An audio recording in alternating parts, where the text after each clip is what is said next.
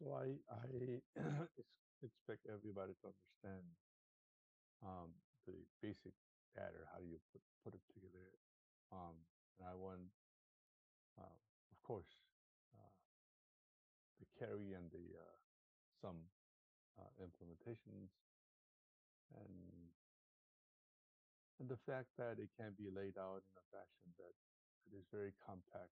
Uh, in another word, have the transistors, uh, count the transistor on every one of these columns and light them up so that you can actually come up with a compact layout. Um, other than that, uh, uh, uh, this uh, this is also important. Uh, you can actually for uh, carry adders. Um, it's important to note that you can actually do an inversion on every other full adder so that you can send the signal pass through uh, in a fashion that, that it, you don't have to create uh, negative logic every time um, uh, you put together a. Uh, actually, it, would have been better exemplified if we implement this guy out using n and this one p, this one n, so on and so forth. But you know, just just note this, okay? Uh, and and also the fact that we can actually take out all the the sum, uh, the products and the exclusors generate and the propagates in in a fashion so that you can you know again in layout form you can have everything bunched up together so you only worry about you know, whatever that's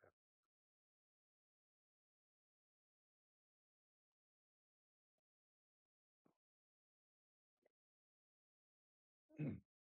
okay just going back a little bit um, i want you to understand the basics of adders um, and the fact that you can have um, NP, NPN type implementation.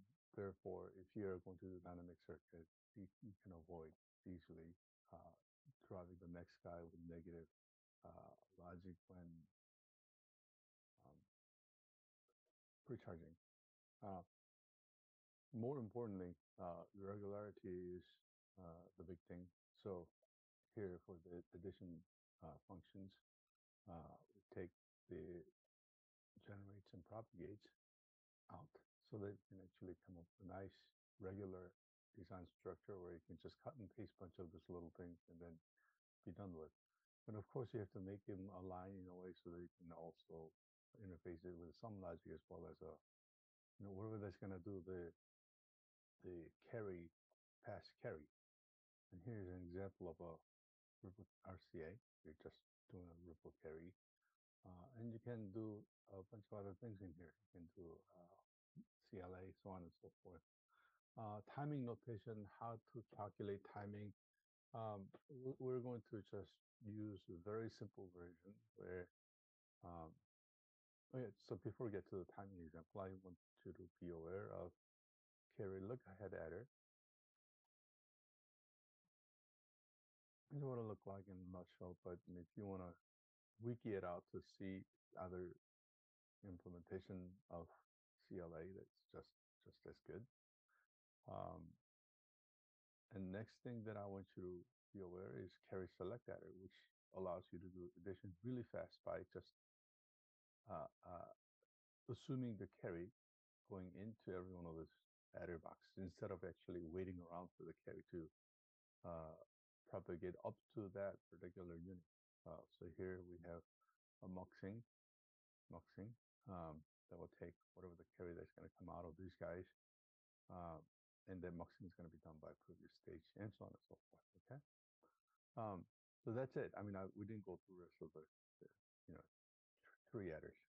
Um, so with that, uh, I'm going to do an example right now uh, that that will show you how to calculate a timing for a particular uh, adder design. Um, and we're going to just consider uh, ripple carry adder, carrier look ahead adder, and carrier select adder. Um, so if we have uh, um, there, these are three boxes that we're going to use. One is a mux, and you know exactly what two to one mux look like. Um, and then a full adder, And another boundary box that we're going to use is actually a 4-bit CLA.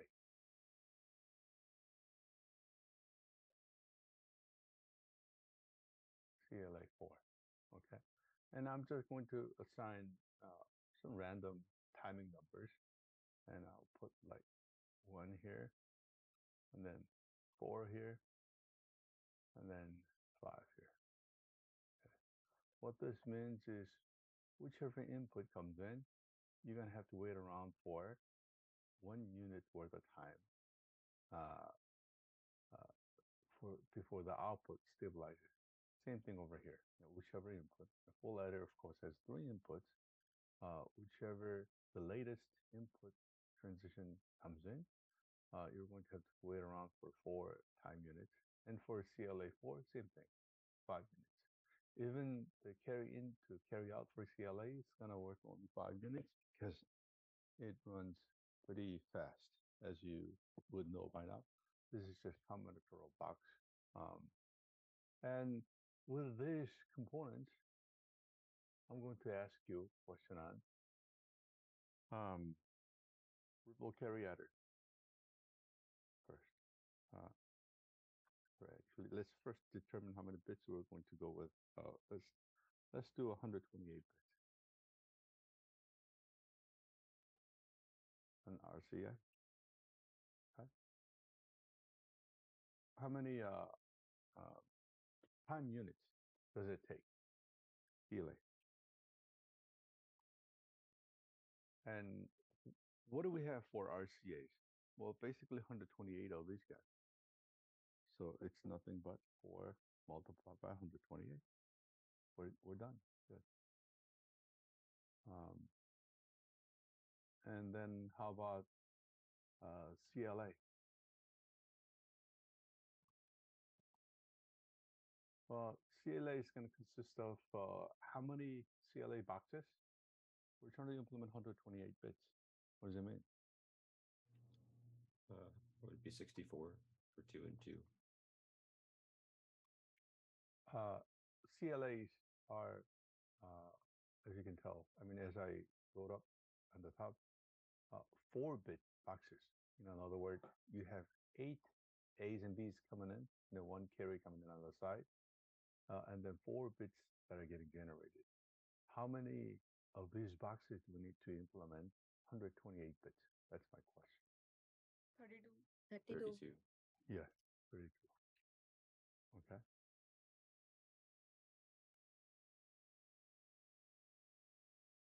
And they just need to be daisy chained up, just like the RCA. And that's going to give us the delay of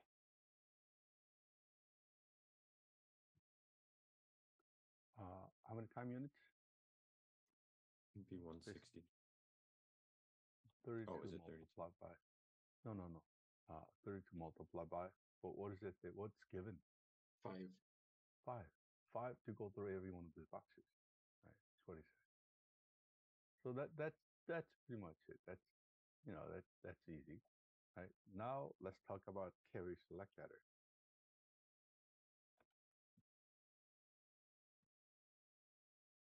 Okay. What does it even mean to have a carry select adder? Well, let me just review out a little bit. it means we're going to uh, take a CLA and then get the output. And instead of feeding this output straight to another CLA, we're going to actually generate output using you know zero, another output using one as inputs or carry inputs to these guys. Assume all the inputs are all other AB inputs are connected, you know, properly. Okay, and we'll, we'll end up getting like two different carry outs. And of course, two different sets of sums. And what we'll do is actually uh, employ a multiplexer and then just decide which one of the carry out from the second stage we're going to take uh, before we send that to the next stage and so on and so forth. And of course, we have to go through you know bunch of multiplexing between this four bits here, four bits here. This four bits, first four bits come straight down. There's no question. All right. So and we're gonna do the same thing and keep on repeating it until we're, we're completely covered. Okay. So here's, uh, are there any questions on how the carry select adder works? Do you mind repeating that? I missed it. Okay. Um, carry select adder, uh, uh, which I call an impatient adder, does the following. Um, very first unit, uh, it it uses zero as a carry in, unless it's connected to something else, unless it needs to be connected to something else. So there's just no, uh, you know, uh, different ways about uh, adding this four-bit uh, numbers. Okay, so it's going to add four-bit numbers and generate a carry, but that carry is not going to be used straight in on the next stage. The next stage is another CLA box. Okay, but we have two of them. The first one uses zero as a carry in, and the other one uses one as a carry in. And they will generate a different outcome, uh, or, or maybe same. It depends on what your inputs are, of course. Uh, and they will do their addition in parallel and generate two different outcomes. And we're just going to use actually the carry that's generated by the first stage to select which one of the two carries uh, is correct one or one that we want to take. That's because I mean, if this carry was zero, this would have been right. This carry is one, then this would have been right. So we'll just select between these two output to generate next carry. And then we'll generate next next carry and so on and so forth until we're done covering all the all the uh, uh, adders in this design. Okay. Yeah, that sounds good. Thank you. Okay, so let's now calculate the delay for uh, selectively. We need, uh, well, let's first talk about how what what we need. How many uh, uh, CLAs do we need? One. Um, how many Alright. CLA fours do we need? Okay. We need one, two, three, four, five, six, seven, so on and so forth. How many? 64. Is it 64? Close, close. Uh, 65. Well, This is closer. is it, is it Shouldn't it be 65? 32? Three thirty-one, wouldn't it? Uh, So we have four bit CLAs, right? yes. This CLA four, what is that, right? So shouldn't we have like the same as above, like 32 CLA for 128 bits of output? Let me draw what CLA looks like. CLA looks like this. One here, one here, one here. Output goes in, output goes in, oh, dot, dot, dot. Okay. And this thing, you know, this is similar, Okay.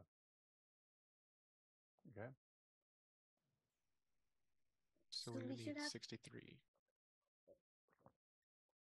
Correct. 63. 63 is the right number. How so is could that? you explain? Sure. Uh, so essentially, it's a CLA with every one of the stages copied twice. See, we got the one that assumes zero at the input, another one that assumes one at the input. Every stage, you need to double the CLA count. Okay, so you need 32, except for the very first stage. Very first stage, you only need one instead of two. So it's going to be basically 32 multiplied by 2 minus 1. Is that clear? Uh, in terms of propagation delay, if you are calculating propagation delay, only one path will be followed, right? So shouldn't we consider? Let let's let's think about that next.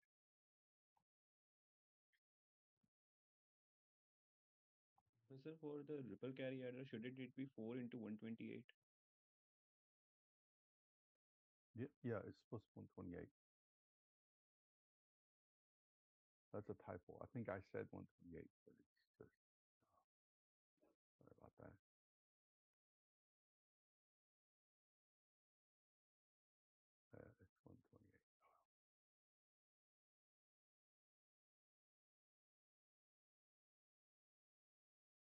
Oops. Not very good.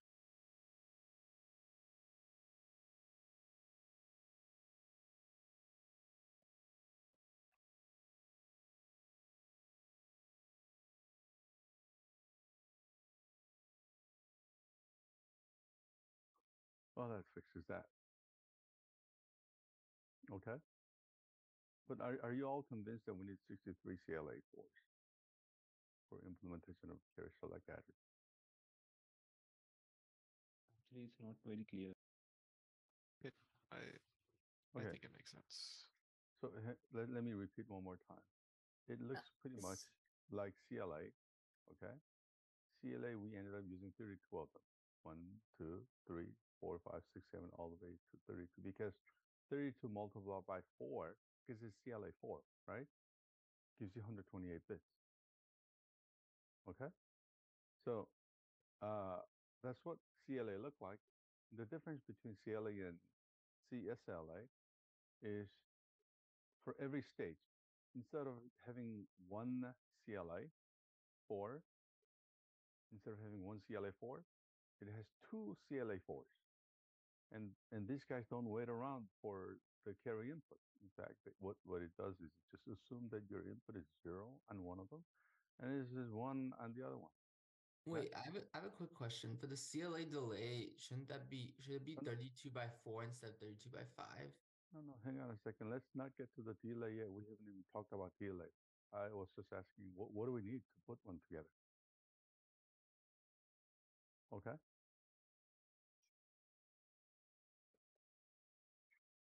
Okay, so in terms of the, um, the total number of CLAs that are required, that is 63. That Yeah, let, let me let me answer the other gentleman's question first. Okay, well, he was not convinced that 62 is the right number.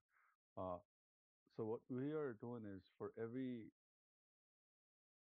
CLA stage, okay, uh, we have two equivalent CLA fours instead of one CLA four. Okay, so we just have to double the count, which is 64. 64 for you know every one of the, the 32 bit- 32 stages so that we have to cover 128 bits, except for the very first one. Very first one we don't need double. We, don't need to double because incoming carry is already zero. you know that. There's no reason to assume one zero and one is one, right? So we're going to just generate the output or the carry straight without, of course, there's no reason to multiplex anything at this point.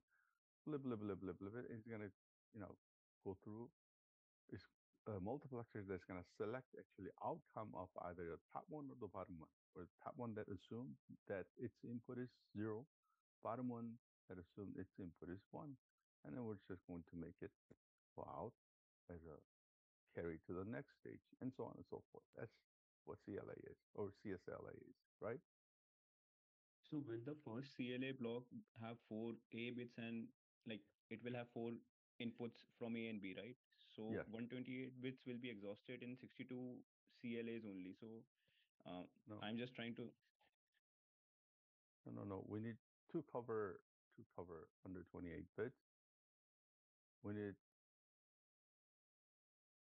32 stages. got it. Got it. Okay. The A's and B's that go in here are same A's and B's that go in here. And A's and B's that go in here they are the least significant A's and B's, four of them. The next significant A's and B's go in here as well as here. And then so on and so forth. Is that clear?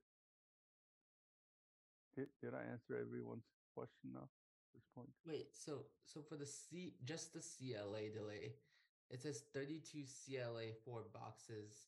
Shouldn't that be 32 by four, or why is it 32 by five? Because it says five right here. It's given. Okay. Okay. The timing is given for CLA four box. And that number is five. Uh, can we So now expect it's- something like it- this then on the exam And then, as well? and then, Okay. Um, uh, excuse me, sir. Yes. So there are 63 CLAs in total, but if we calculate the actual delay, we no, no, would hang not on a second. actually We're not include- there. We're not there. Okay. It says and, right? And how many multiplexers do we need? That's my next question, okay? Anybody want to guess? 31. 31. 31, not quite. I mean, you got the right idea. But don't we need multiplex for every one of these guys, every one of the sum outputs as well? Uh, Then 62. 31 plus 4 Five. 5 no no the question is how many multiplexers do we need we need like one here one here so on and so forth and that there are 31 of those guys correct? And then for every one of these stages every one of the 31 stages for for that matter the output needs to be selected. And then there are four different outputs that has to come out of each one of these guys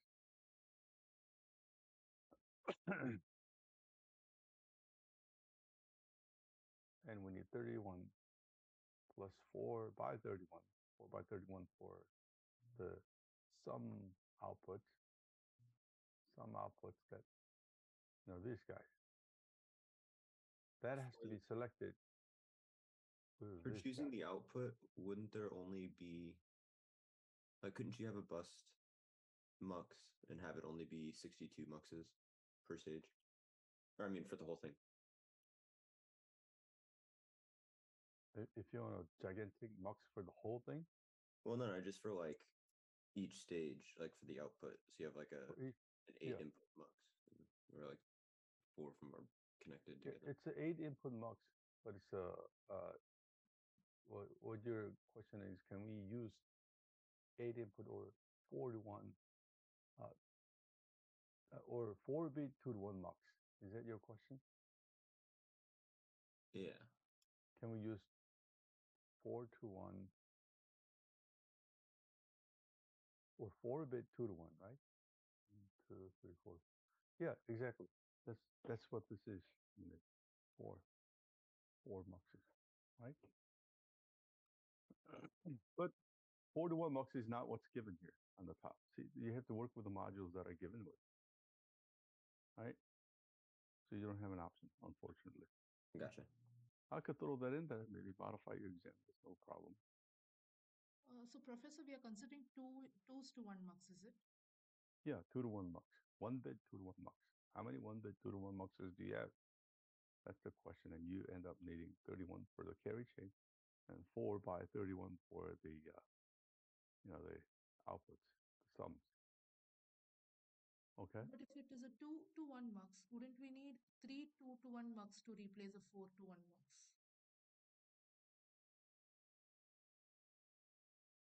No, we need four two to one mux to replace four bit two to one mux. Four bit two to one mux is what we need.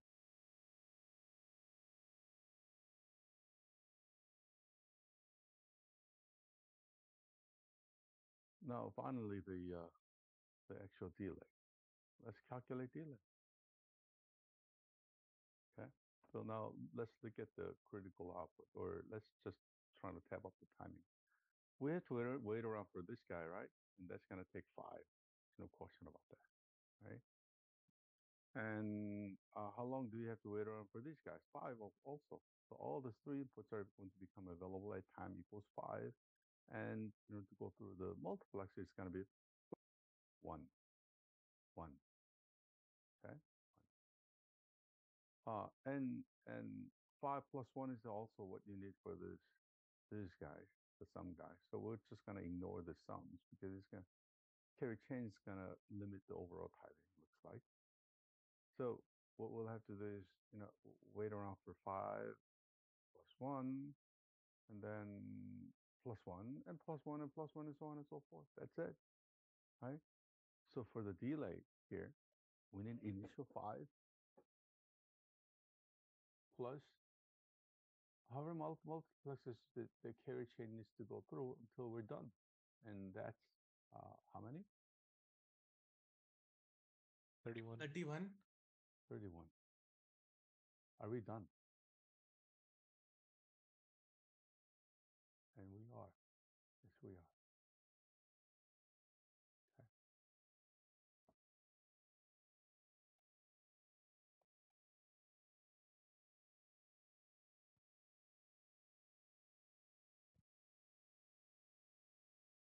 Everybody get that? Yep, makes sense to me. Oh, a quick question. Yes. So why are we not considering the delays from the other CLAs then? Is that something we're just ignoring or? What other CLA? Um, no, I just meant like the stage two CLAs and all of those. Or are we assuming all of that's happening parallel, so we just have five units there? Uh, it's it's timing, right? So Yeah. the question to ask is, when will this signal be ready? Okay. So you know what I'm gonna do? Actually, uh, write down when this signal will be ready. This signal will be ready at five. Do you agree? Mm-hmm. And this signal will also be ready at five, Oh, okay. right? Yeah. Because these guys are ti- ready at zero. You don't have to wait around for anybody for every one of these inputs now. Uh, and this guy is ready at five, Five. five, Mm. and so on and so forth. So hence, this guy needs to wait around for every one of these three inputs to come in, which all happen at five. So it's gonna happen. Well, the output of this guy is ready at five plus one, which is Mm. six. And this guy is ready at uh, which one's the latest one to show up here? Six. Yes. Six, five, five. So we're gonna take six and add another one to it. It's gonna be seven, and so on and so forth. Sounds So it just takes one unit, one multiplexer to time through each one of the stages. Okay? So if Yeah, you understood this completely, then, you know, your exam question is going to be maybe like this or easier.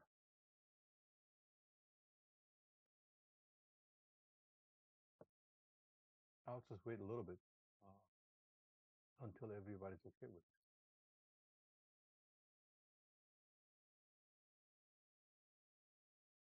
Just shout out loud if you have any remaining questions on this. Oh, by the way, uh, unless you're uh, chatting or speaking, uh, can you please turn the uh, or, or please mute yourself? That uh, that that reduces background noise.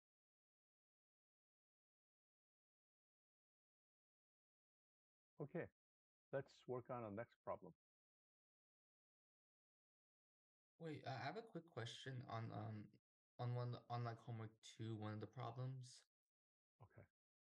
Uh, homework number two.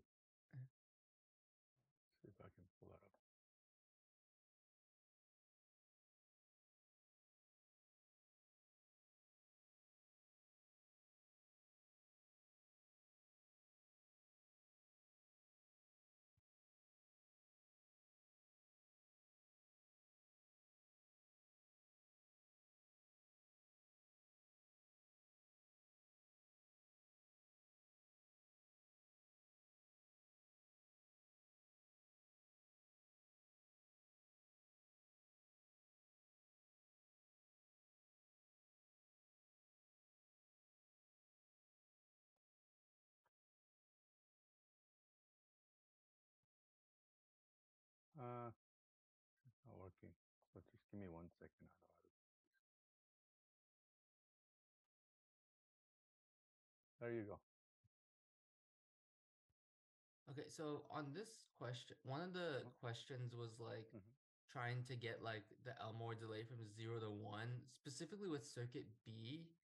Um, when A equals B, no B as in Bob. Well, Um, let's let's do that one together. Okay. okay. Um,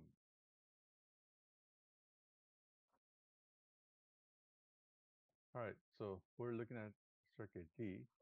So if you just give me one second, I'm gonna move everything out of the way in a way. So we're looking at circuit D.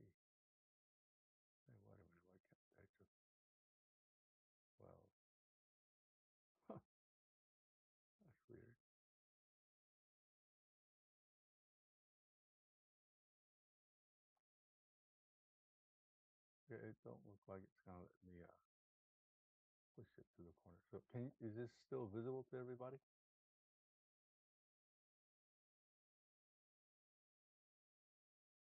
Yeah, we can see it. All right. Um, uh, we're talking about this circuit.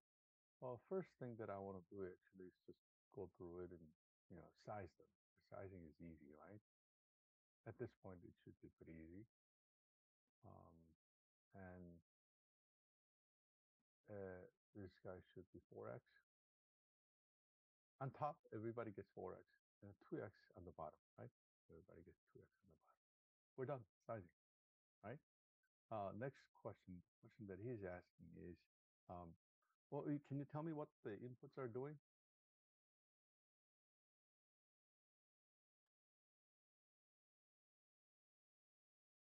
Hello? Please unmute yourself. X not. It's X ahead. not.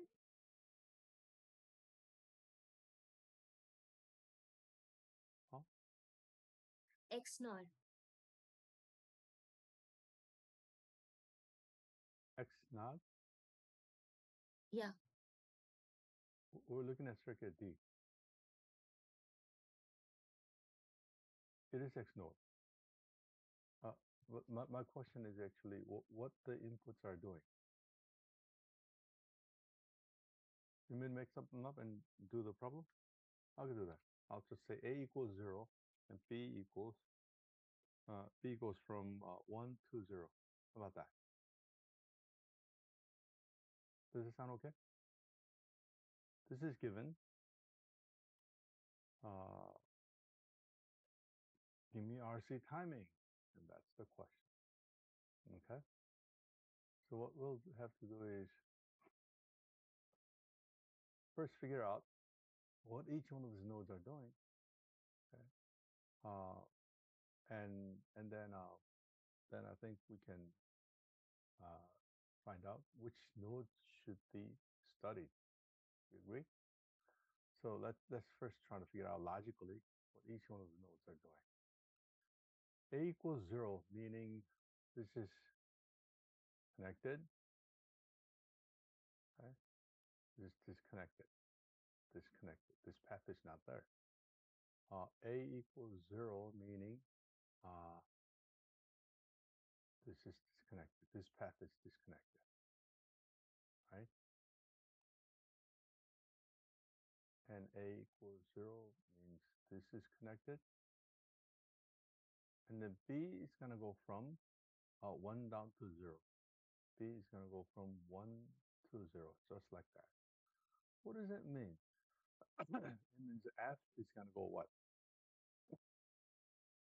Someone tell me. Zero to one. Absolutely. 0 to 1. Everybody see that? Okay, so let me ask you a question on which nodes we should subject to this transition study.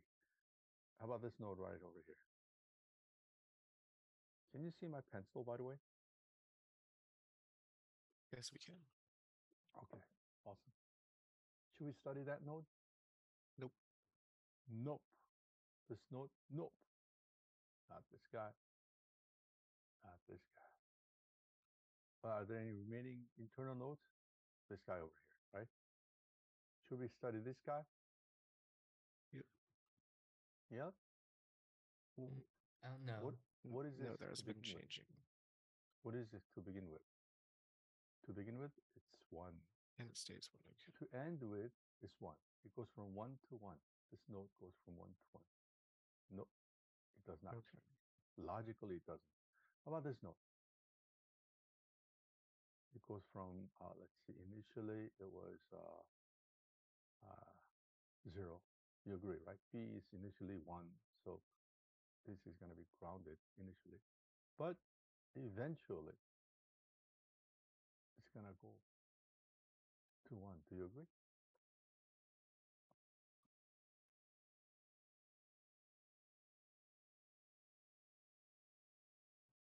Wouldn't that go from a, a high to a low? Is maybe maybe maybe I messed up. Uh, you look at it again. I'm trying to do this eyeball analysis. Your B is going from one to zero. B is going from connected state. This is NMOS, by the way, right? So this transition is going from connected state to disconnected state. When connected to the ground, it starts at zero. When disconnected, is it going to be connected to VDD? Let's see. This way it is connected because it's connected all the time. And this is getting connected. Is it getting connected, right? With that zero and another B. Voila, it goes to VDD. I see. Okay, so I'll give you another. Okay, uh, Dr. Choi, I just wanted to uh, make a clarification real quick. So usually when we were discussing the RC diagram, like uh, timing, Elmore delay, things like that, we're only going to be considering, since the output is going from swinging from zero to one, we should Yeah. only be considering the PMOS side, right? We shouldn't be caring about NMOS because of that. uh, you know, this timing thing, we're going to consider every node that's making a transition, whether it's PMOS or NMOS side or where, wherever it may be. Okay. And the reason is because when you do make this transition in real circuit, uh, this will also have to become VDD until we'll say all the transitions are stable. Uh, because un- unless it's charged to VDD at the end, this node will keep on losing its charge through this transistor to this node because charge sharing takes place. Okay. Okay. So we do have to consider every one of those. Way we calculate the delay, however, there, there's a problem actually. Okay. And which we are not going to consider. Uh, And that problem has to do with the fact that charging this node will require some R value from here to here. Charging node requires uh, R's of, of this guy, this guy, as well as this guy. But then when we're connecting to VDD, we're going to assume that R for this guy remains two, which is not true because when you're trying to have the VDD go through NMOS, it's gonna be actually, in fact, R is gonna be higher in practice, in real life, right? But we're not gonna worry about that. We're not, we're not gonna think about that. All we're gonna do is just add up the R to that path, that node in question. I'm make it circle. You're gonna have to worry about that one, okay? And then just figure out C, RC, as usual, okay? That's how we've been doing the analysis. Okay, now it looks to me like we need to consider this output node and then this intermediate node, and let's try to find out RC for each one of them.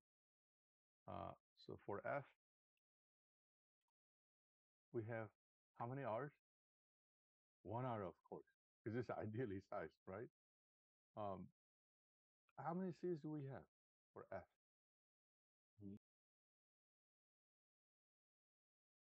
Does you want to add up? Four here, four here, two here, two here. 12 C's?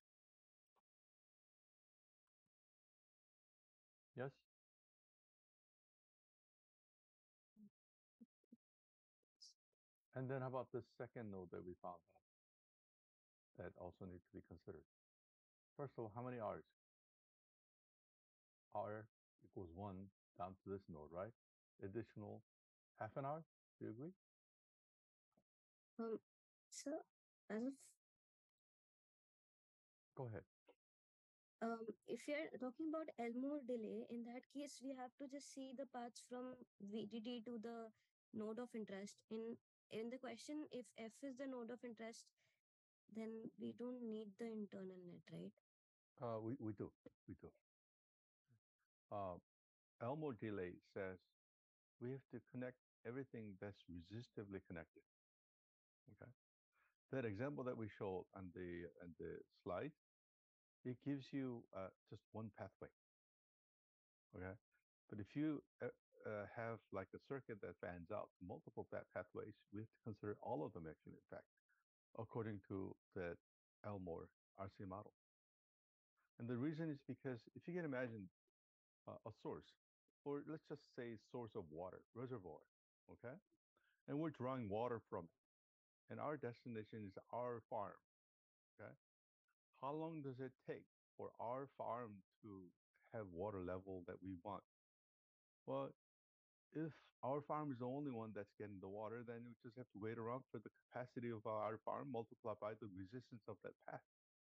However, if there's another farm in between our farm uh, and and the reservoir, uh, and and if that the other farm back in the middle actually is just running in sort of parallel, if you want to, let's just pretend that this pathway, water pathway, goes from reservoir and it forks out, forks out to two two different ways, and one goes to farm A, the other one goes to farm B.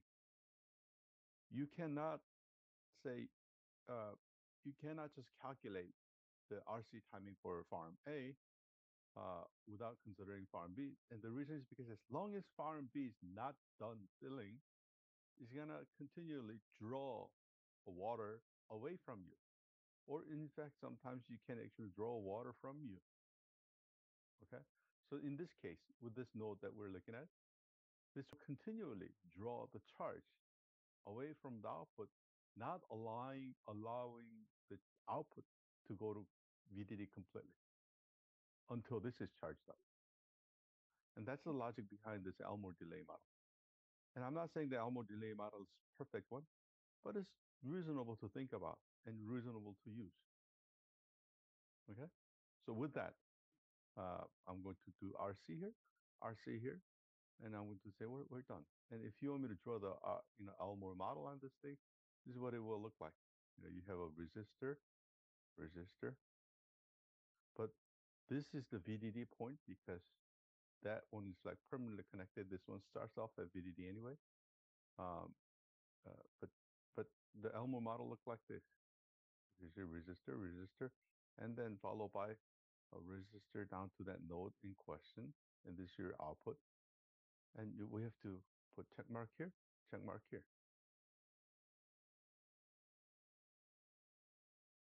In another word, uh, let me redraw that a little bit. So we're we're going from VDD. This is kind of like what what it looked like in the book. We're going through one resistor, and we're going to go through another resistor. Of course, there's a cap there, but we're not going to be concerned with that because that's already grounded. Uh, and then this is the output node, and then there's another another one. There's a cap here. That's the output node in our case, and there's another cap. Okay, that output is not going going to complete its transition until this is charged up. Is that clear? So now going back to this RC business, um, we have 1.5 R to go from VDD down to that node in question. Multiply by how many C's? Somebody tell me how many C's we got there? Two RC. Two C's. Two C's here, right? So it's 1.5 times 2 RC for the Elmore analysis, which totals uh, 15 RCs.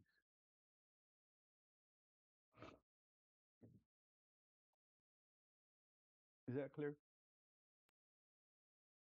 So um, initially, if you already counted the one times 12 RC, which is you know the capacitance right there, um, And at the output, um, why would you? Uh, I mean, isn't that double counting if you make the second part where we find the R to be uh, 1.5? Isn't that like double counting?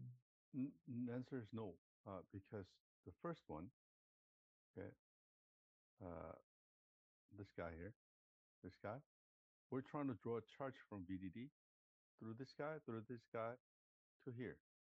Okay. Okay. Mhm. Uh, The the second one, we're trying to draw the current through the same path, by the way, through here, through here, and through here, to charge this node. Mm, okay. So when you're considering RC for this guy, in order to wait around for timing for this, you have to wait till you know uh, you have to consider this path to give you the resistance, and then you have to wait around for that capacitance to charge up. Okay, Okay. so you're adding all up, and Gotcha. I, I, I, if you feel a little bit itchy about this situation, uh, I'm with you actually. Uh, but this is what Elmore model does. Uh, the reason why you're probably getting an itch is because, hey, this is at any given time point, this is charged up.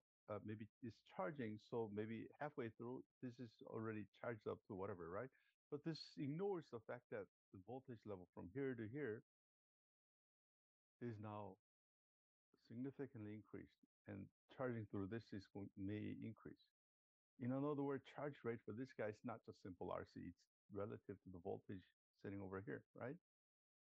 If you want to find that out, you have to do simulation. You're not going to be able to get that from Elmore model. But Elmore model is you know, not too unreasonable. Uh, and all it requires you to do is just figure out what RC is for everybody and then add them all up. Okay? Okay. Does that answer your question? Yes. Any other questions on this problem? Professor, Yes. can you explain why it is constant Uh, I'm, I'm sorry. Can I ask you to uh, uh, put the question on the chatting window?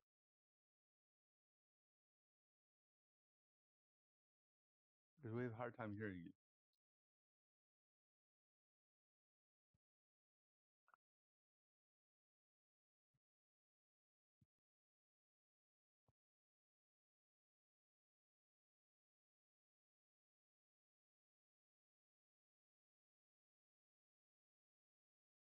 One point five is the resistance from VDD to that node. We're going from zero to one. In other words, we're going to be connected to VDD. Which path? Well, this path right here, because that's the one that opens up. So what is R for the top half? Or from here to here? One, because it's ideally sized already. What is the resistance from here to here? Half. So the pathway to VDD gets us 1.5 R.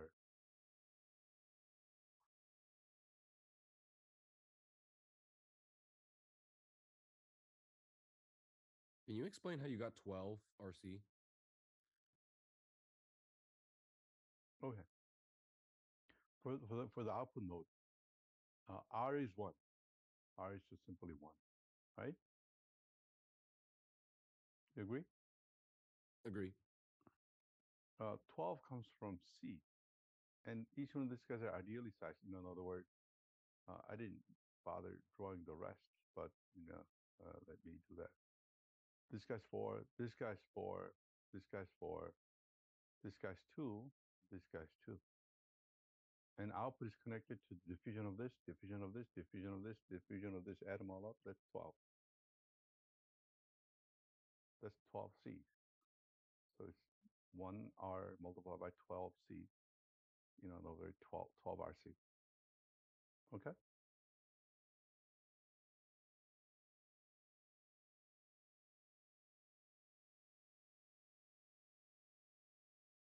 Uh, Professor, uh, I was just wondering, um, between between the first two resistances on the uh, the rightmost uh, circuit that you drew, is that a capacitance or is that something else? Because there's not a note above that.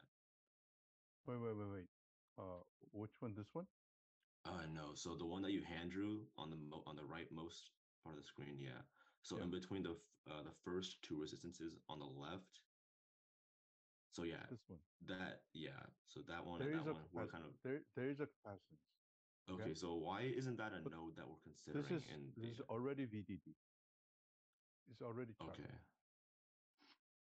Oh, I see. Okay. Yeah. Thank you so This much. one's I done. understand. This has arrived already to begin with. Okay, that makes sense. Thank you.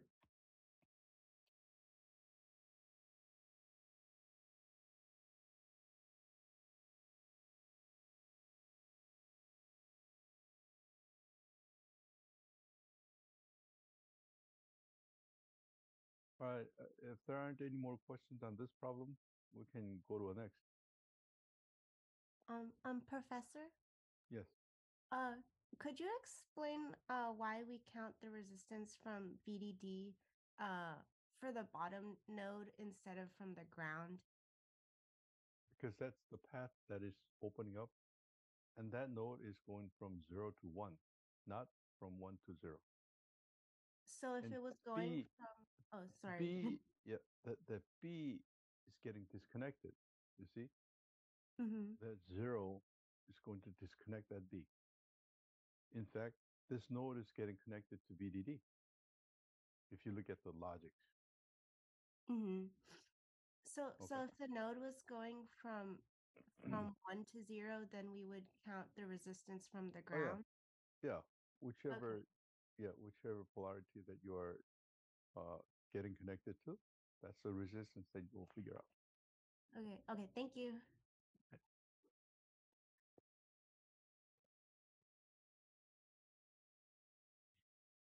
Any other questions on this problem? If the if the input ch- changes from one one to zero zero, my output node will not change.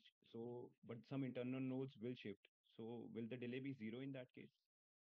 If output node is not changing, then you do not, uh, um, you don't have to do the delay calculation, right? Thank you. Internal nodes will change, of course. Um, then you, there's no reason to uh, bother with those changes because you're not, what you're waiting around ultimately is for the output node to make transition.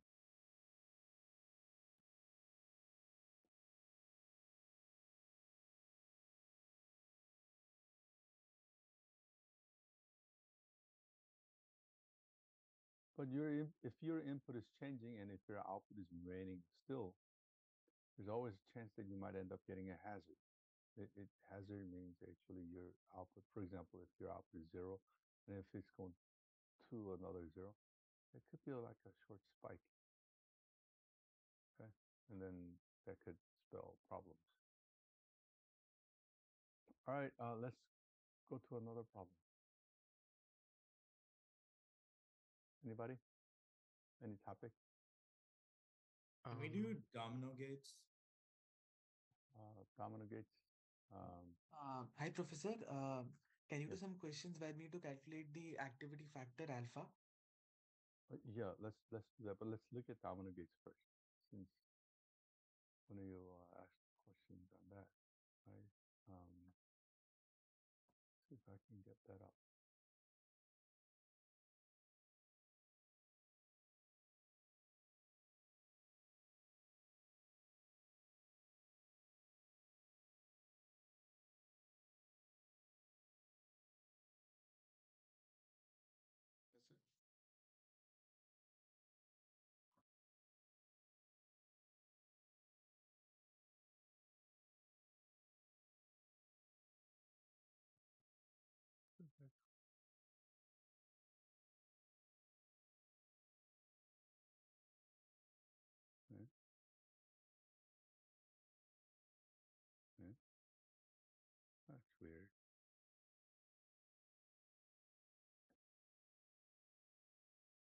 Okay, let me get out of this thing.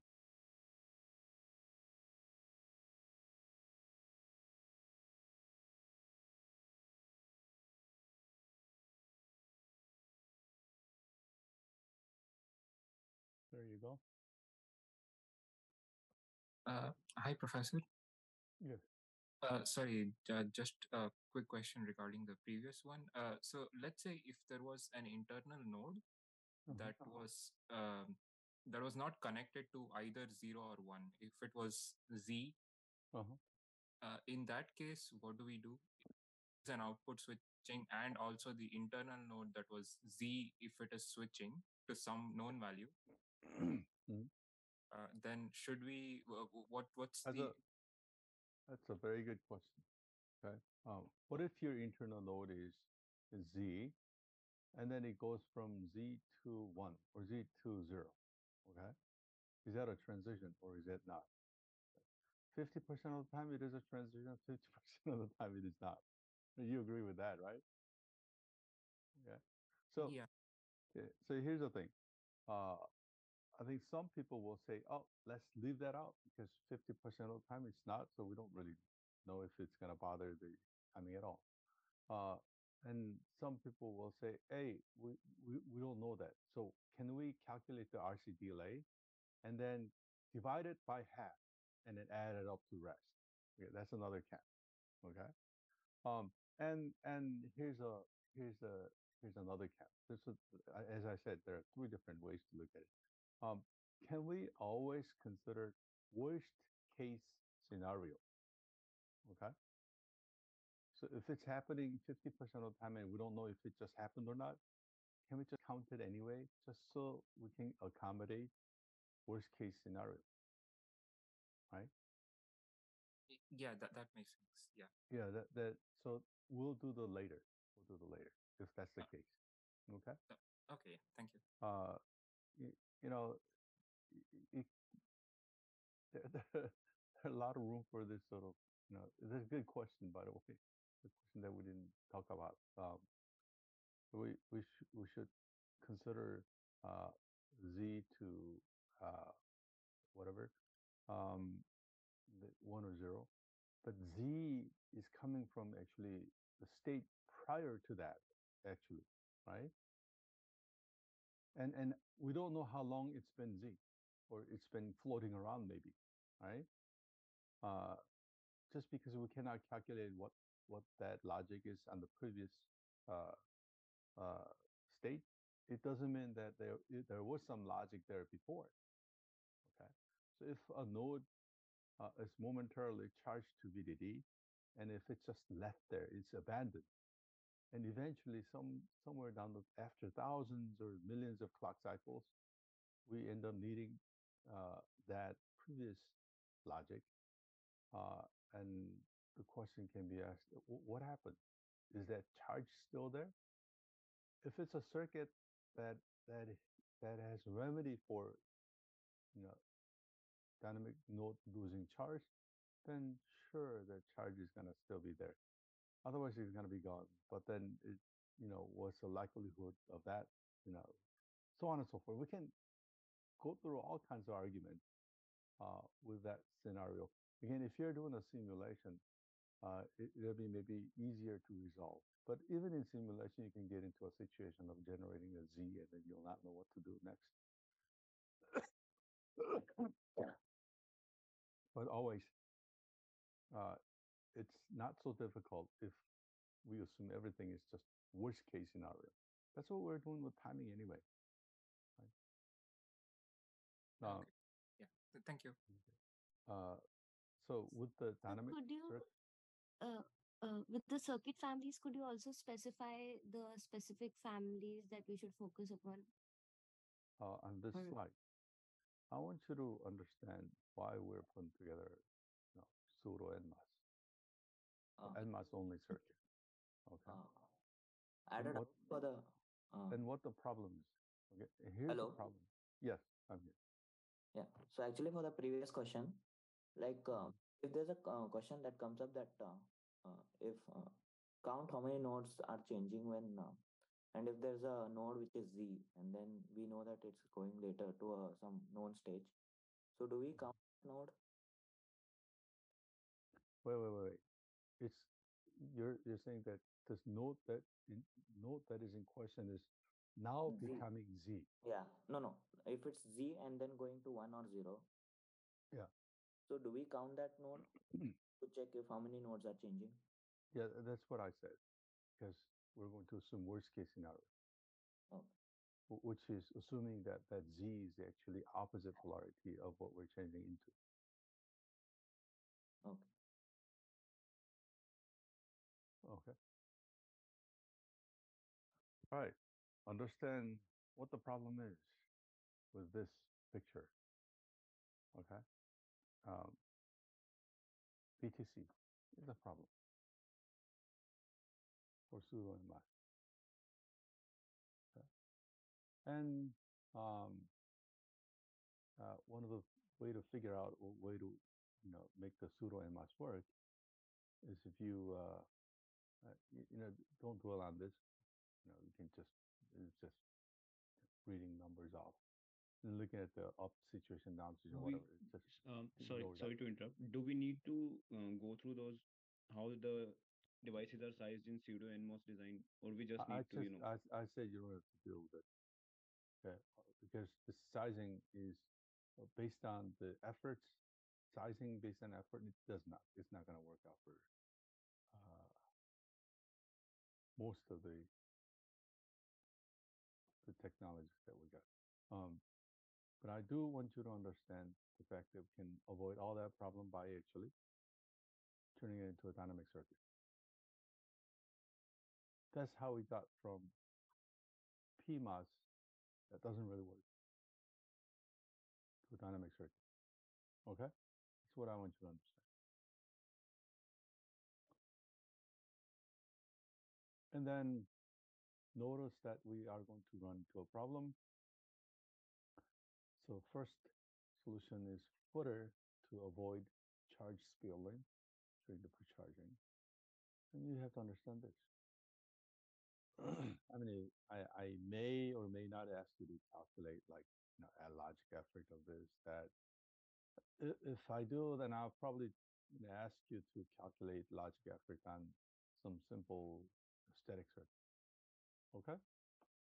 Monotonicity, which is the biggest problem of dynamic circuit, uh, where you start evaluating and realizes that you don't have any more charges there to actually evaluate on the output. Okay, you can fix that problem by actually inverting everybody. Okay, here's a. I want you to go through actually click through the animation of this monotonicity problem. So here we go. We end up with now this final result is going to be dom- domino gates, and this does wonders because everybody's generating zero during pre-charging because your outputs are inverted, and that's going to make sure those zeros are going to make sure that everybody's holding their pre-charging. Uh, now that makes you wonder why do we still need footer? Um, uh, you can get away without a footer if you have domino circuit, but some people like to do that just just to make sure that circuits are contained. Well, sure. And then there's some optimization that I didn't I didn't really get to or talk about. All it means is you can actually partition it out and pre-charge pre-charge things separately and uh, play with it logically. But I want you to look through this. Uh, dual rail domino, of course. Uh, it just means you can uh, pre-charge both sides and then generate the output, but the evaluation part can be logical switching logic level uh, minimized further by sharing sub expressions. Okay, so here's an example of that right here. Uh. Dr. Choi, Yeah. real quick on this one, since Okay. um, in the slide before you talked about for uh, dual rail domino, it said it can only do like the um, like and or XOR, or not the uh, and equivalent of that. How come this comes out uh, that you have you know both of them in that? If that's said that you can't, Wh- wh- Where? it Domino says only- domino only performs non-inverting functions. But if we actually look in the schematic um, in like the next two slides, it it Yeah. has both of them. Yeah. If you just do one side, it means you can only do and or so on. Right, Right. but you have access to both of them, right? Yeah. Okay. Dominant only performance non-inverting function. This is actually not true. Yeah, I was gonna say. Yeah, I was gonna say that's why Yeah. it, like it contradicts the next example is Yeah, contradictory. yeah, yeah. Because Okay, if you if you take this circuit, cut it in half, and if you use this side, it's positive, right? Mhm. But if you use just left side, it's negative logic. Then it's the negative inversion of that. Okay, thank you. Uh, should edit that out. Um, but you, you you see how we went from uh, well for not not this guy, but we went from like oh, where's my exclusive wall? Oh, I don't have it. Huh. Uh, notice how how we went from like four transistor, four NMOS transistors on each side to three NMOS on the on both sides by combining out uh, the B high and B low, right? If you see that, then that's that's basically what we want when we're doing the dual rail circuits. It just means we don't double the transistor count every time, right? And then and then on this set of slides, we have a bunch of different you know, leakage problems and charge uh, or precharging or charge out problems. And I want you to understand leakage, of course. You you know let uh, let a node float for a long time, it's gonna leak. So just to avoid having that happen, have a look back, uh, and that's going to be used as a it's a weak keeper. Uh, and then charge sharing problem can be solved using internal charging or secondary precharging. Um, and you know, just you know, just look at this page and and then Swan. Domino has high power, dynamic power uh, uh, problem uh, that almost killed the company. Actually, they almost killed Intel a long time ago uh, by by usage of domino circuits or dynamic circuit fast versions of the dynamic circuits that sucked up power like there's no tomorrow. It was called net burst architecture. You can just Google Intel NetBurst architecture and why it was failure. Anyway, um, and then then we I want you to I want you to look at uh, LEAP. Make sure you understand what LEAP is. There you go. All it means is you're not going to pass one clean. So as soon as it looks like one is coming through, then flip it back and then pull it to VDD clean. And then complementary pass transistor logic, it does not involve, nice thing about this is that it does not involve anything looping. Anything looping means actually something's going to get stuck there and it's going to be difficult to flip it when you need to flip it. That's what it means. If you try to like zero this guy down, uh, you're going to have to fight with this connection until we're able to turn this over right? So looping is just oh, most of the time not a good good, idea, but CPL is the CPL is just you're gonna I'm gonna help my neighborhood. This guy also helps me whenever we're trying to get these guys to VDD. This symbol, by the way, is a VDD, not ground. I don't know why symbols are not cut clean here. So that that's basically it. That's what I want you to be aware of. There's no uh, really a, a workout problem that I can give you um, on this particular set. Okay. Any any other questions on this set? So basically, no numerical from this um, circuit families, just some theoretical Uh, questions. I mean, I can give you like charge sharing problem. See if you look at this thing. I can ask.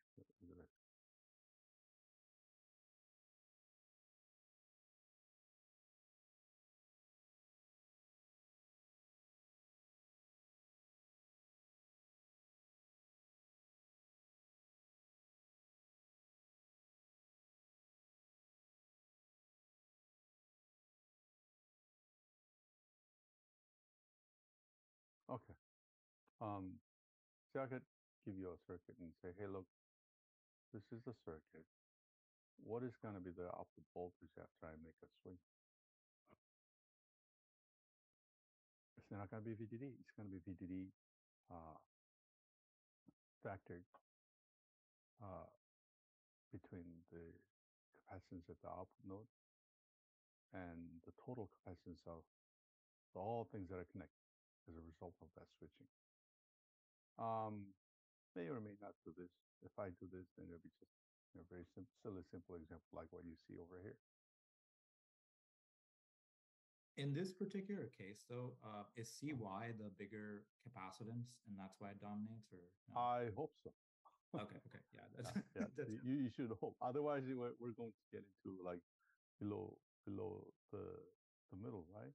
Yeah, yeah, because the potential or- or- difference, I mean, has yeah, to or be the the same. Yeah, or the other wrong side of the the um the transfer curve, right? Mhm. But even if what CY is big or big enough, uh, you can still dip below the noise margin, which always spells problem, right? And if it dips below, actually, the whoever you're driving, if it dips below the noise margin of that guy, then you're in trouble, right?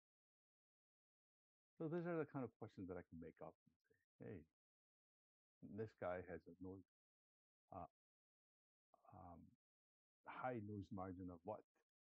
Okay. Will this work out? Uh, maybe not. I'll just give you, if I give you a it'll be something much simpler. Yeah, other than that, I don't, I don't know what, what I can, what kind of uh, problem that I can give you, uh, you know, numerical question on. Uh, Uh, in this, uh, oh, sorry, uh, on site six, there's a there's a calculation of p that is involved, p, p and g. Uh, in the parasitic part, how like we are getting fractions. Could you explain how we are getting fractions in that? Yeah, we'll, we'll end up getting fractions because we're not, the inputs are like connected to only one of them, right? So uh, if I give you a effort calculation, I, I'm not gonna give you one on the dynamic circuit. It's kind of, uh, let me see if I can step through this thing. Okay, this is like one over three is the no, normal thing. I don't know where my mouse went. Gone. My mouse is gone. Shoot. Okay, so we're, here's the thing. Um, um, you know, when when you do the large effort calculation, for instance, we're uh, making a using as a reference a static inverter, and that's just kind of weird. so the reason why, the, can you see my, can you guys see my mouse? No, sir. No, yeah, my mouse is lost. What the heck? Let me just get out of this. Let's see if I can. Oh, jeez. Now it's Uh, now everything's gone. Uh, let me see. Uh, slideshow.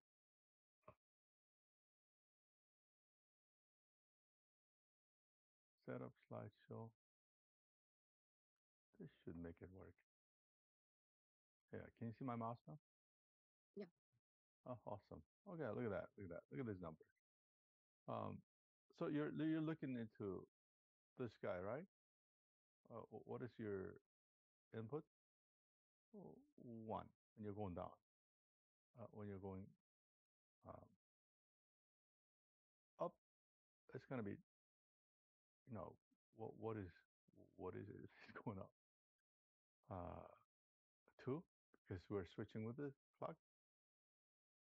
Or yeah, well, uh, it generally it's gonna be one because you, you're just connecting to one transistor. Logic effort is gonna be just one.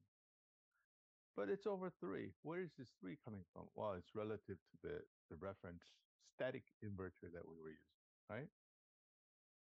So that, that that's why we're and we we're getting this all this you know, weird looking and numbers. same for the parasitic like p, Yeah, same p down. Yeah, same thing with the parasitic. Okay.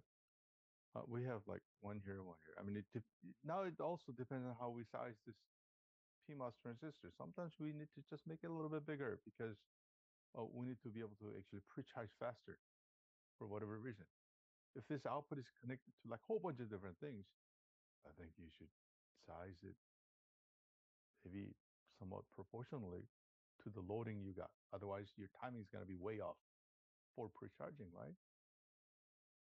So just generically saying this is one and this is one, so we're gonna do two over three. That's that's like uh, I don't know if I like it. so I'm not gonna emphasize this slide because this slide is so far removed from what we really need to be doing in reality. If I do logic effort or parasitic effort, you know, one of those things, I'll give you one for static logic. static logic is not too unreasonable thing to do. Okay. Um, so uh, I had a small question. When we say static logic, uh, it's actually CMOS, right? So like the switching is happening. Is doesn't static refer to a constant value and dynamic refer to switching? And Yeah. in, in an inverter, um, we will be having switching. Why why are we considering it as a static inverter? You mean why are we using as a reference a static inverter? No, why are we using the term static with the inverter? Because um, switching is going to happen, right? Whenever the input changes. So shouldn't it so- be a so- dynamic circuit? static inverter is uh, I I don't know what you're uh, referring to. Uh, static inverter look like this.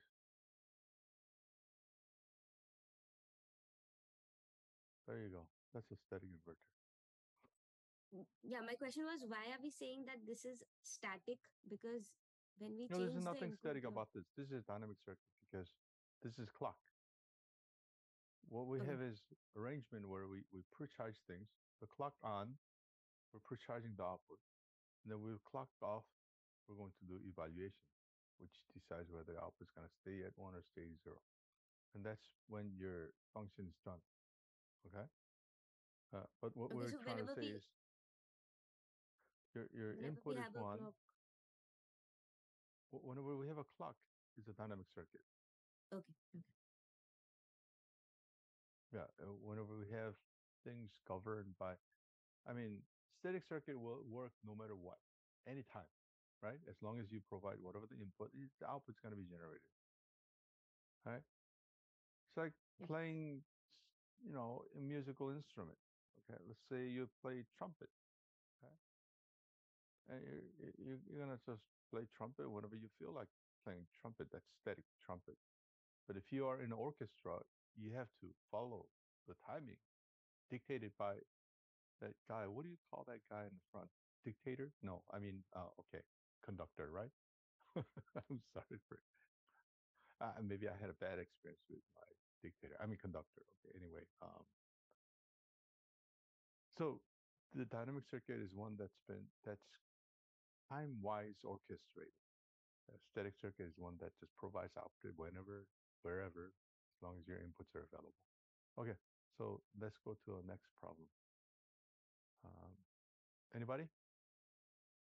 So what questions can we expect from logical effort and power chapters?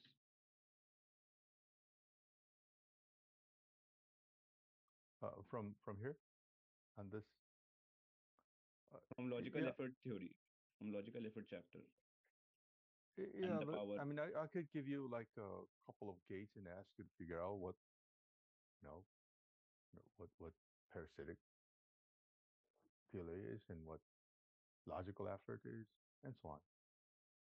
Okay. Um, I want to do actually a, a power analysis uh, example. Uh, can I? Yeah, yeah. I want to get to a power analysis example because that's what was asked earlier by uh, I forget who. Uh, you know who you are if you ask for that question, right? Um, Uh, professor, should we expect any questions from lecture 9 combinational circuits? oh, absolutely. Yeah, yeah. Okay. You know, circuit sizing. Um, ideal circuit.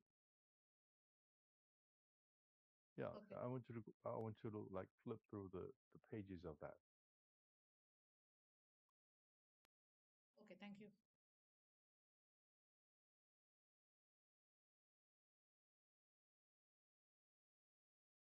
And and probably uh one of the you know most interesting or biggest example that you can that I can pull out is a, a multiplexer and that combinational circuit. Uh, otherwise, everything is something that you already talked about actually here and there, bits here, bits there. But if you can imagine out a designing a giant multiplexer, let's just go with like eight to one multiplexer. You can implement that eight to one, one multiplexer only at the transistor level, right? Right. So you can come up with a gigantic static eight to one multiplexer, or you can actually put together smaller, like two to one multiplexers, and then put them together at schematic level. Right? Because you know how to build a two to one multiplexer using a bunch of smaller two to one multiplexers. Another way to do that is actually use transmission gates and so on and so forth. Okay, so you know your alternatives. Uh, uh, I, we didn't go through a skewing of the gates and input, uh, uh, uh, you know, inner input, outer input, that kind of stuff, because uh, you can just flip through that and note that hey, okay, there's an inner input and there's an outer input, and probably a thing to do is uh, you know, leave the outer input to signals that are not switching very often. But it doesn't take a whole lot of imagination to. Uh, so anyway, flip through those slides. Okay. Uh, just for review. Wait, Um, uh, I have a quick question. Yeah, So, um, on the overall test, like, how much, um, around how much questions should we expect from like the previous test, and how much should we expect from new? 25 questions. That that's a total total, but like, how much of the overall topic is from the previous test, and how much is 10. like new info? 10, 10 questions from Okay. previous. Plus or minus five. I mean, I, I say maybe close to 10.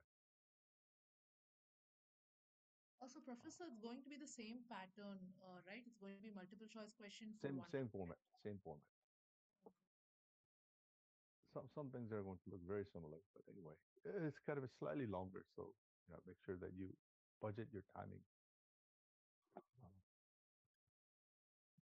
yeah. And you'll be sitting at exactly the same location.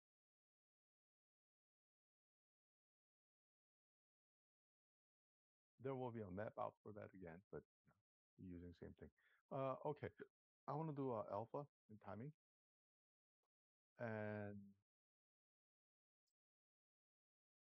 and I guess maybe I can just come up some something completely random here. Um, let let's go with a a counter here. Here's a counter, three counter, and I'm gonna stick a reset button there. Okay, and it gets reset every time you hit ah this number. And what we'll have is these two guys doing a NAND. It's gonna feed an inverter. And my question is gonna be, hey, uh, that that that node, what is the what is the uh, power, dynamic power of that node? Okay.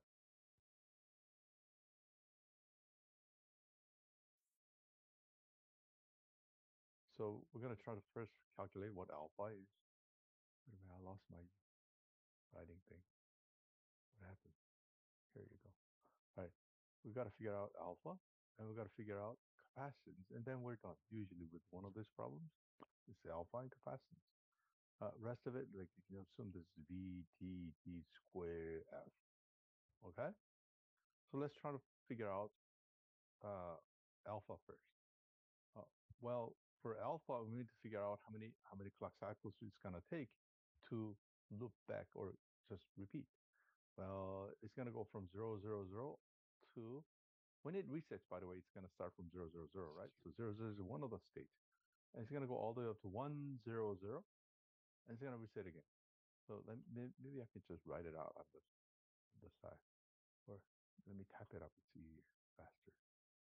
Zero zero zero, zero zero one, zero one zero, zero one one, one zero zero, and then guess what?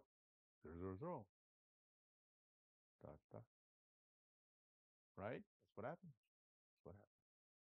Actually, uh, I forgot to do this, but I should also write down what happens on that node.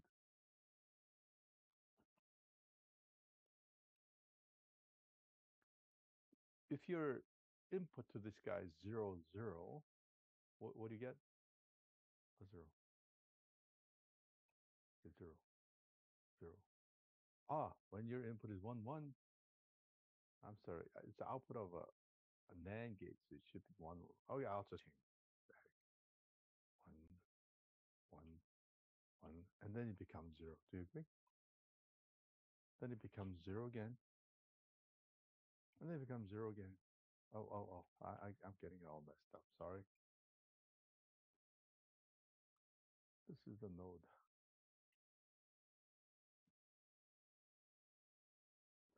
Any questions?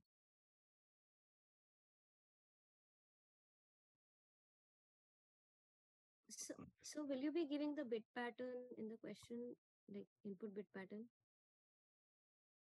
The input? There's no input. This is a free running counter. I said that. Actually, I should indicate that's what it is. This is a counter.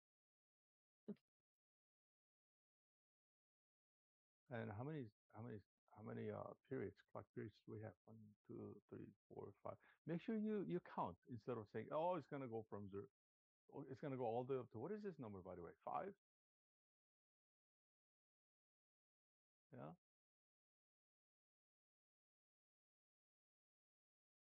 Instead of doing that, make sure you count. Zero, one, two, three, four. Oh, I messed up, right? So did you.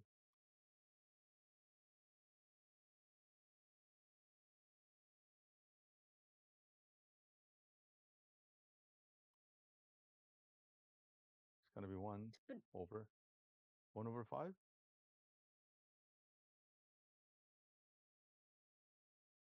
Are you convinced that this is one over five?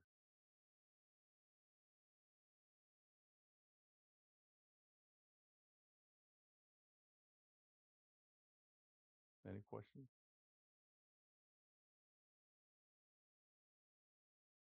Because I see like Oh, one, two, three, four, five things. And then we go back to one, right? yeah, somebody had a question? um, so I had a basic one actually. Um, why will it not go up till seven? Uh, like we have one zero zero, then why it does not? This, I said it is reset signal here, right? As soon as we get that one out, it's gonna reset down to zero again. So this is for this specific case, not for every Yeah, yeah, for this, for this design. Okay.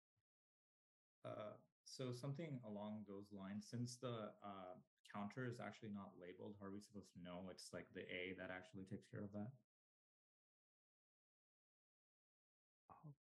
Most significant bit, rather. How do we know it's the most significant bit that resets Okay, it? I- I think I said sometime uh, earlier this semester, uh, when not specifically labeled, Mhm. the bottommost or the leftmost input, leftmost uh, bit, leftmost output, leftmost thing is most significant. Most Likewise, significant. the bottommost is most significant. Okay, gotcha. Thank you. Okay. Otherwise, I'll level things out for you. Uh, but now I want to look at that n- n- NAND gate uh, with an inverter. One question, Professor. In this counter, are we assuming the the reset is a synchronous reset? Because if it is an asynchronous, it- then it's a uh, this. It, it has to be synchronous. Okay, okay. Everything is synchronous, unless otherwise stated. You should not do asynchronous circuit. If you want to do asynchronous circuit in real life, make sure you get a PhD. well, I, I'm not saying that without a degree. It- I mean, sometimes you, know, you can do so many things without a degree, but make sure you understand how asynchronous works thoroughly. Uh, uh, 99% of the circuits that you'll end up working with or working on will be synchronous. One with the, the dictator, I mean the clock, uh, giving the signals when to transition. Asynchronous, uh, I mean, 100% of the time, uh, asynchronous circuit gets botched up is when someone who doesn't know how to design properly asynchronous circuit, you know, delves into it. So uh, everything is synchronous unless otherwise specified. All right, so here's a secret. Can can you can you guys count the capacitance on this so we can go home? I mean, I'm already home, but I, I want to. Uh, can you count the capacitance? Well, first you have to ideally size these guys, right? This is two, two, two, two, two, one. What do you count Nine. on this node? You guys count nine? One, two. You guys count nine? Yeah. Nine C's. So your answer is nine over five v square f. Right? That's pretty easy. It's a fair question. And I guarantee you, you're going to see something that look like this on your exam. All right. Um, I, I So, want to go ahead. Uh, so for the logical effort, when we are uh, considering about the parasitic delay, that just means that the number of uh, diffusion capacitance is connected to the particular net, right? Uh, I'm so sorry. I, I'm confused. Uh, are we, we're not talking about this problem. No, no, no. It's for logical effort. So the parasitic delay P, in that calculation, only the like the, we are just considering the diffusion capacitance is connected to the particular net, right? Not the For gate capacitance. for parasitic, yes. Yeah. Yeah, Okay. Thank you. Wait, I have a quick question. Um, how'd you get the nine C again? It's the capacitance of this this node over here. Okay. Oh, wait a minute. I just drew a heart. Wow.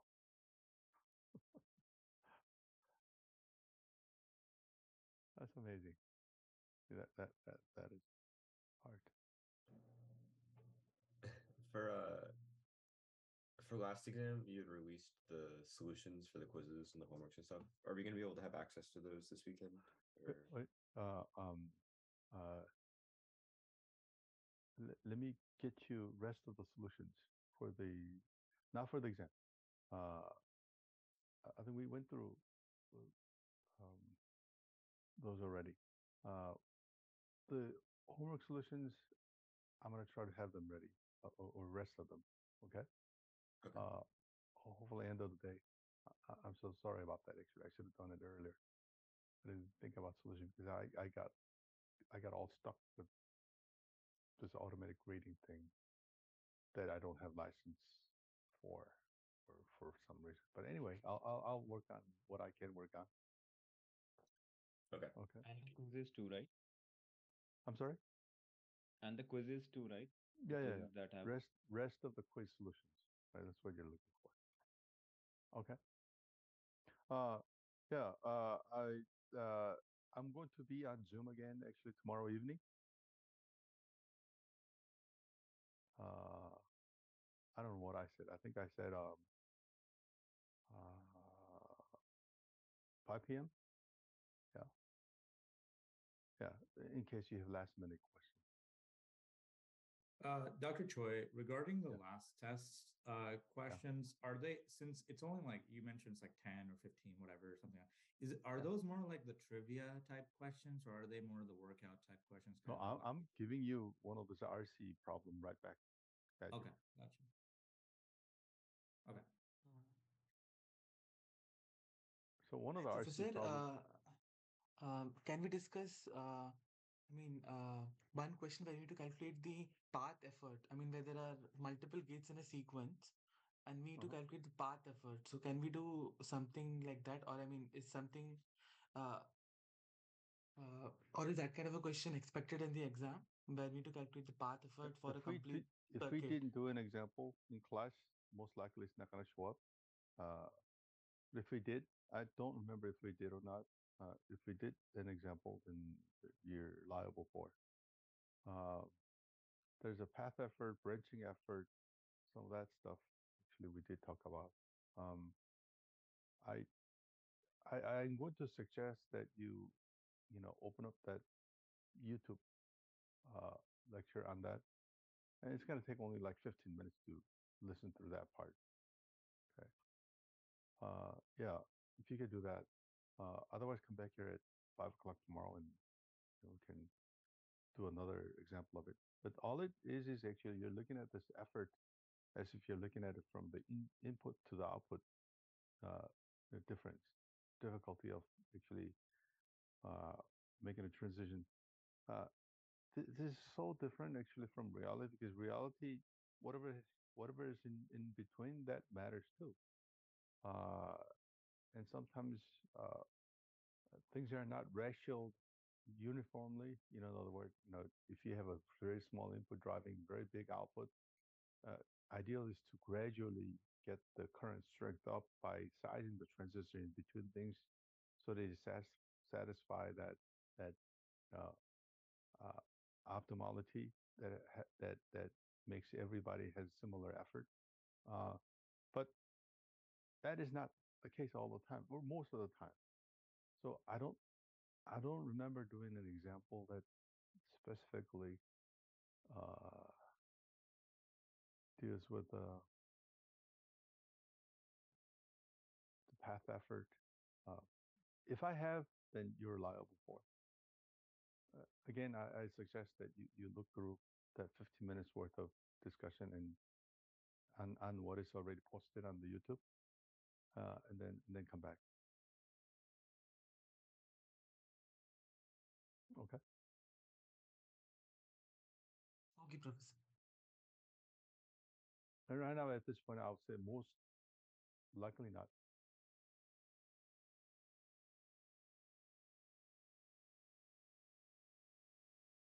All right, I'm going to call it a day for now. No? And um, I'll see some of you back uh, tomorrow evening at 5.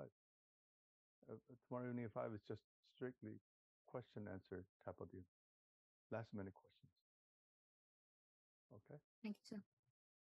See you guys all later. Thank you.